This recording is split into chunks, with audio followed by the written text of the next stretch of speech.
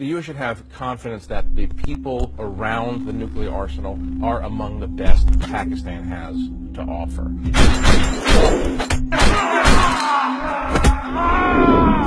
They have very professional service guarding the nukes.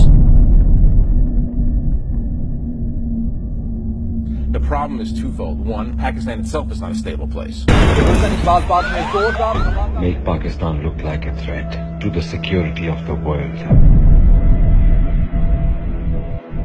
Pakistanis have a nuclear capability. Pakistan is a threat that needs to be resolved.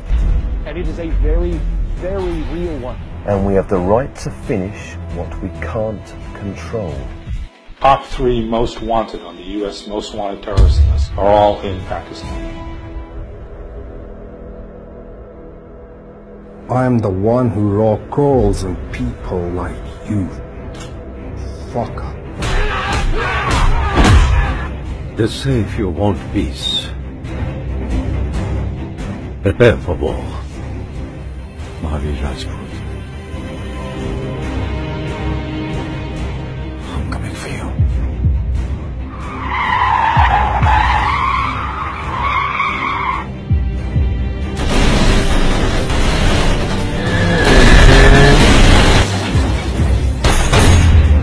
Man dies, sir.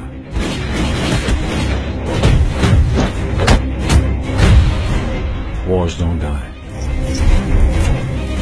I've done my time. That's why I'm not coming back to the army. So what you'll do now? Find peace, sir.